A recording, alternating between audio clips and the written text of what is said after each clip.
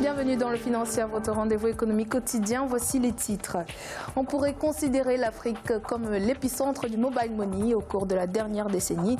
Il est devenu un outil clé dans l'amélioration de l'inclusion financière en Afrique subsaharienne. Plus de la moitié des comptes de paiement sur mobile dans le monde se trouvent en Afrique. Faible rendement de l'impôt provenant du secteur informel en Côte d'Ivoire, de l'ordre de 8 milliards de francs CFA en 2017. Ce secteur, qui constitue 57% du fichier de la Direction générale des impôts, contribue à moins de 1% des ressources fiscales globales du pays. Ce que le directeur de la DGI, Ouattara Siabou, déplore. Et puis en fin d'édition, nous ferons le point sur les marchés boursiers du continent.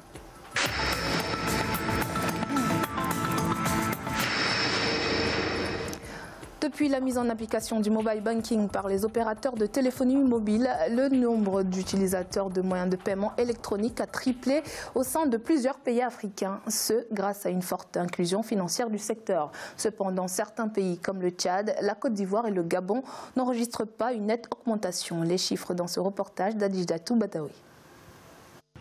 La faible bancarisation en Afrique a rendu plus accessible l'essor d'un nouveau mode de transaction financière via les téléphones portables. Une expansion justifiée par la facilité de création d'un compte, la rapidité des opérations, sans compter le coût des différentes opérations qui est moins élevé. Mais le Sénégal a pu booster le secteur de la téléphonie mobile en investissant davantage. 18 millions d'abonnés mobiles pour 15 millions d'habitants grâce au développement de nouvelles technologies en matière de paiement téléphonique.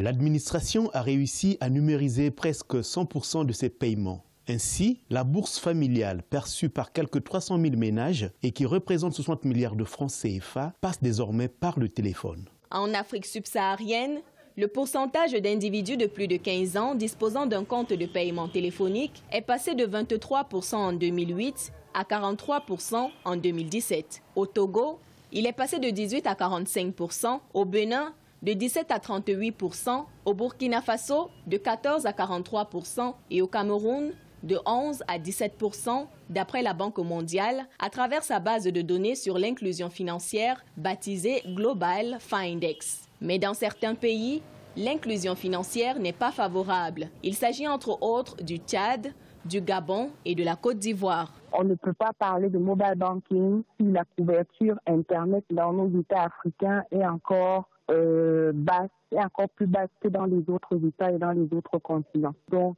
euh, le mobile banking, c'est une véritable manne d'opportunités pour les, pays africains. Il apporte beaucoup de souplesse dans le quotidien avec le paiement des factures, avec le paiement des salaires, avec les frais de scolarité. Il apporte la facilité pour les populations rurales. Au regard du nombre important des Africains disposant d'un compte de paiement téléphonique, Force est de constater que le mobile banking favorise une inclusion financière en Afrique. C'est à partir de 2007, lorsque le Kenya a lancé l'innovation mobile avec Safaricom, que la téléphonie mobile a commencé à gagner du terrain sur le continent africain.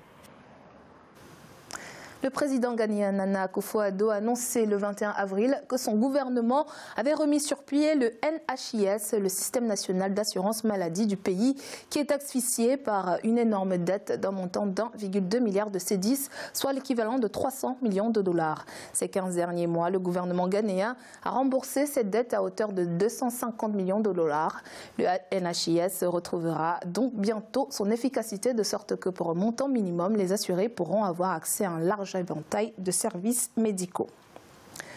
En Côte d'Ivoire, la Direction générale des impôts déplore une faible contribution fiscale du secteur informel et même des agriculteurs. En 2017, la Direction générale des impôts a enregistré une moins-value fiscale du côté du secteur informel avec 8 milliards de francs CFA contre 1800 milliards de francs CFA en 2016. Le directeur de la DGI plaide pour une meilleure implication des citoyens dans la mobilisation de l'impôt dans le pays. Siamlo Victor. En 2017, le secteur informel ivoirien a contribué à hauteur de 8 milliards de francs CFA aux recettes fiscales sur les 1800 milliards de francs CFA mobilisés en termes de recettes brutes. C'est ce qu'a déclaré la Direction générale des impôts lors d'une rencontre d'échange et d'information avec la Confédération générale des entreprises de Côte d'Ivoire, CGC, autour du thème l'élargissement de l'assiette fiscale, quelle implication pour le secteur privé? Ouattarassier Abou, directeur de l'administration fiscale ivoirienne, déplore une faible participation du secteur informel qui compte 66 000 contribuables et dont les cotisations annuelles se situent à 121 000 francs CFA pour une moyenne mensuelle de 10 000 francs CFA, l'essentiel de la charge fiscale pesant encore sur les entreprises du secteur formel. Est-ce que les mesures qui sont en place pour euh, les entreprises dites formelles arrangent ces entrepreneurs-là? C'est peut-être les conditions euh, trop contraignantes de la fiscalité pour le pays. Il y a aussi une éducation des entrepreneurs à faire. La direction des impôts note par ailleurs une faible contribution fiscale des agriculteurs sur qui repose l'économie nationale et plaide pour l'implication du dit secteur pour une plus-value fiscale. Aujourd'hui, on est dans une logique euh, pour la plupart agriculture de subsistance, agriculture juste euh, pour aller vendre au petit marché à côté des périmètres agricoles. Donc il n'y a pas cette culture-là entrepreneuriale même au niveau du secteur agricole. Il faut songer à un système fiscal adapté. Parce que euh, j'insiste sur le terme adapté parce que généralement on confond adapté et avantageux. Les entreprises du secteur informel constituent 57% du fichier de la Direction générale des impôts selon les responsables. Et d'après une étude récente menée en Côte d'Ivoire, l'activité informelle a un potentiel fiscal estimé à 150 milliards de francs CFA et 93,6% des emplois proviennent de ce secteur. En dénombre 609 700 unités de production informelle en activité. Toutefois, pour des analystes, elles sont caractérisées par l'absence de protection sociale. Au niveau agricole, les prix d'achat aux producteurs jugés trop faibles favoriseraient la fuite des récoltes vers des pays voisins comme le Ghana. Afin de régler une partie de sa dette extérieure, le Zimbabwe envisage d'émettre des obligations d'une valeur située entre 2,5 et 3,5 milliards de dollars en 2018. L'annonce a été faite par le ministre délégué des Finances, Terence Mukupe. Cette nouvelle opération sera probablement lancée après les élections de juillet 2018. 1,8 milliard de dollars de dette du Zimbabwe envers la Banque mondiale et la Banque africaine de développement devraient être réglés grâce à cette opération. Un rapport de la Banque mondiale publié ce 22 avril fait du Nigeria le pays d'Afrique subsaharienne à avoir reçu le plus de fonds envoyés par les migrants en 2017, soit 22 milliards de dollars durant l'année écoulée. L'Égypte arrive en deuxième position avec 20 milliards de dollars, tandis que le Maroc occupe la troisième place du podium avec 7,5 milliards de dollars. De manière globale, ce rapport nous apprend que les transferts des fonds des migrants envers l'ensemble des pays d'Afrique subsaharienne sont passés de 34 milliards de dollars en 2016 à 38 milliards de dollars en 2017, une progression due à la relance de l'économie mondiale et à la remontée progressive des prix du pétrole.